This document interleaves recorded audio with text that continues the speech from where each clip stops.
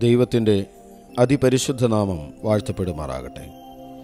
ഏവർക്കും പ്രതിദിന വചനധ്യാനത്തിലേക്ക് സ്വാഗതം. റോമാലേഖനം മൂന്നാം അധ്യായം ഇരുപത്തിമൂന്നാം വാക്യം. ഒരു വ്യത്യാസവുമില്ല. എല്ലാവരും പാപം ചെയ്ത് ദൈവതേജസ് ഇല്ലാത്തവരായി തീർന്നു. കഴിഞ്ഞ ദിവസങ്ങളിൽ ദൈവിക തേജസ്സിനെ അഥവാ പരിശുദ്ധാത്മാവിനെ നഷ്ടപ്പെടാനുണ്ടായ കാരണങ്ങളെക്കുറിച്ച് നാം ചിന്തിക്കുകയുണ്ടായി. പഞ്ചേന്ദ്രിയങ്ങളിൽപ്പെട്ട കണ്ണ് ചെവി നാവ് ഇവയിൽ കൂടെയാണ് ഹവായുടെ ഉള്ളിലേക്ക് സാത്താൻ അനുസരണക്കേടിനെ അഥവാ ഭാവത്തെ കടത്തിവിട്ടത് എന്ന് നാം കണ്ടു. ദൈവം വെച്ച അതിർത്തിയെ താൻ ലംഘിച്ച് പാപത്തിന് ജീവൻ കൊടുത്തതുപോലെ തന്നെ സാത്താൻ മനുഷ്യനെ കൊണ്ടും അതിർത്തി ലംഘിപ്പിച്ചു. ദൈവം അരുതെന്ന് പറഞ്ഞതിനെ ചെയ്യാൻ മനുഷ്യനെ പ്രേരിപ്പിച്ചു. മോഹം ഗർഭം ധരിച്ച് പാപത്തെ പ്രസവിക്കുന്നു പാപം മുഴുത്തിട്ട് മരണത്തെ പെറുന്നു എന്ന ദൈവവചനപ്രകാരം തന്നെ ഹവ്വായുടെ ജീവിതത്തിൽ സംഭവിച്ചു. ആദ്യം വിലക്കപ്പെട്ട ഫലം പല രീതിയിലും നല്ലതാണെന്ന സാത്താന്റെ വാക്കുകളാണ് അനുദിനമെന്നോണം ഹവ്വ കേട്ടത്. അത് ഹൃദയത്തിൽ സംഗ്രഹിച്ച ഹവ്വ പിന്നെ ആ ചിന്തയോടുകൂടെ ആ ഫലത്തെ നോക്കാൻ തുടങ്ങി. തുടർന്ന് ആ വൃക്ഷഫലം കാണുവാനും ഭക്ഷിക്കാനും ജ്ഞാനം പ്രാപിക്കാനുമൊക്കെ നല്ലതാണെന്ന സാത്താന്റെ വാക്കുകൾ ഹവ്വ ഉരുവിടാൻ തുടങ്ങി. അവസാനം ആദമിനോടും പറഞ്ഞു ഇരുവരും വിലക്കപ്പെട്ട ആ വൃക്ഷഫലം ഭക്ഷിക്കുകയും ചെയ്തു. പ്രിയപ്പെട്ടവരെ പാപ സ്വഭാവങ്ങൾ സാത്താന്യ ചിന്തകൾ നമ്മുടെ ഉള്ളിലേക്ക് കടന്നുവന്ന് നമ്മെ പാപത്തിലേക്ക് തള്ളിവിടുന്നതിന്റെ വ്യക്തമായൊരു ചിത്രമാണ് നാം ഏതൻ തോട്ടത്തിൽ കാണുന്നത്. ഇത് സകല മനുഷ്യർക്കുമുള്ള ഒരു മുന്നറിയിപ്പായതുകൊണ്ട് തന്നെ ബൈബിളിന്റെ തുടക്കത്തിൽ തന്നെ ദൈവം ഇത് പരിശുദ്ധാത്മാവിനാൽ കുറിച്ചു വെപ്പിച്ചു എന്നാൽ മഹാദയയും ദീർഘക്ഷമയും കരുണയുമുള്ള സ്വർഗസ്ഥ പിതാവായ ദൈവം തന്റെ പുത്രൻ മുഖാന്തരം മനുഷ്യവംശത്തെ വീണ്ടെടുക്കാനും പിന്നീട് തന്റെ പുത്രൻ മൂലം പരിശുദ്ധാത്മാവിനെ മനുഷ്യർക്ക് കൊടുക്കാൻ തീരുമാനിച്ചു. ആ പരിശുദ്ധാത്മാവ് ഭൂമിയിലേക്ക് ഇറങ്ങി വന്നത് വ്യക്തമായി പഞ്ചേന്ദ്രിയങ്ങളെ മുദ്രയിട്ടിട്ടായിരുന്നു.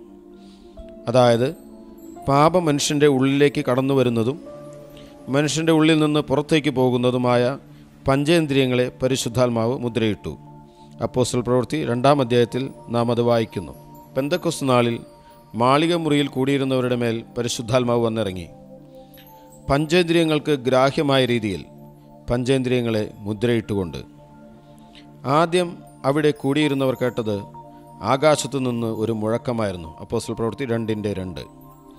ആ മുഴക്കം കേട്ട മാത്രയിൽ അവരുടെ ചെവി മുദ്രയിടപ്പെട്ടു.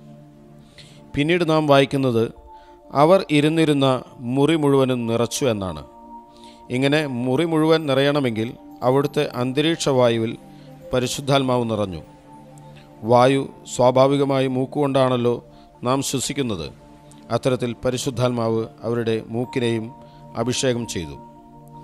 തുടർന്ന് അവർ അസാധാരണമായ ഒരു കാഴ്ച കണ്ടു. അഗ്നിജ്വാല പോലെ പിളർന്ന നാവുകൾ. ആ കാഴ്ചയിൽ തന്നെ അവരുടെ കണ്ണ് മുദ്രയിടപ്പെട്ടു.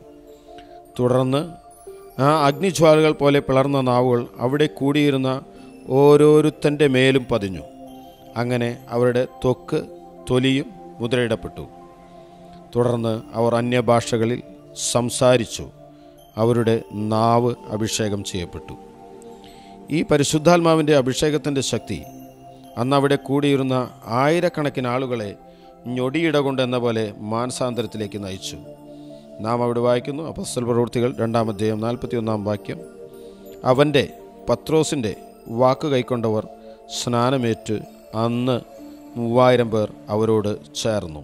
ഈ അഭിഷേകമാണ് പ്രിയപ്പെട്ടവരെ ഇന്നും ഈ ഇരുപത്തിയൊന്നാം നൂറ്റാണ്ടിലും അതിശക്തിയോടെ പ്രവർത്തിക്കുന്ന പരിശുദ്ധാത്മാവ് നമുക്ക് നൽകാൻ ഉദ്ദേശിക്കുന്നത്. അത് രണ്ടായിരത്തി അഞ്ഞൂറിൽ പരം വർഷങ്ങൾക്ക് മുമ്പ് പ്രവാചകനായ യോവേലും രണ്ടായിരം വർഷം മുമ്പ് അത് അപ്പോസ്റ്റലായ പത്രോസും എടുത്തു പറഞ്ഞു. ആ പ്രവചനത്തിന്റെ നിവൃത്തിയുടെ സമാപ്തിയിലേക്കാണ് നാം വന്നുകൊണ്ടിരിക്കുന്നത്. പരിശുദ്ധാത്മാവിന്റെ ലോകവ്യാപകമായുള്ള ഇടപെടലും നാം പ്രത്യാശ വച്ചിരിക്കുന്ന നാം പ്രിയം വച്ചിരിക്കുന്ന കർത്താവായ യേശു ക്രിസ്തുവിന്റെ രണ്ടാം വരവും. പ്രവാചകനായ ഹബക്കുക്ക് എഴുതിയിരിക്കുന്നു. ഹബക്കുക്ക് പ്രവചനം രണ്ടാമത്തെ മൂന്നാം വാക്യം. ദർശനത്തിന് ഒരു അവധി വച്ചിരിക്കുന്നു. അത് സമാപ്തിയിലേക്ക് ബന്ധപ്പെടുന്നു. സമയം തെറ്റുകയുമില്ല. അത് വൈകിയാലും അതിനായി കാത്തിരിക്കുക അത് വരും നിശ്ചയം. താമസിക്കുകയുമില്ല. നമുക്ക് പ്രാർത്ഥിക്കാം.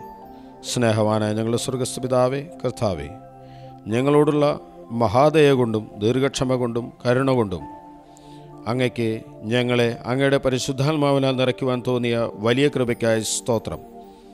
അപ്പാ ആ പരിശുദ്ധാത്മാവ് ഞങ്ങളുടെ പഞ്ചേന്ദ്രിയങ്ങളെയും അങ്ങയുടെ ഹിതമനുസരിച്ച് മാത്രം പ്രവർത്തിപ്പിക്കാൻ ഞങ്ങളെ സഹായിക്കട്ടെ എന്ന് ഞങ്ങൾ താഴ്മയായി അപേക്ഷിക്കുന്നു. കർത്താവായ യേശു ക്രിസ്തുവിൻ നാമത്തിൽ ഞങ്ങൾ താഴ്മയായി ഞങ്ങളുടെ അപേക്ഷകളെ സമർപ്പിക്കുന്നു. പിതാവേ കൃപയോടെ കേൾക്കണമേ ഉത്തരമരുളണമേ. ആമേൻ.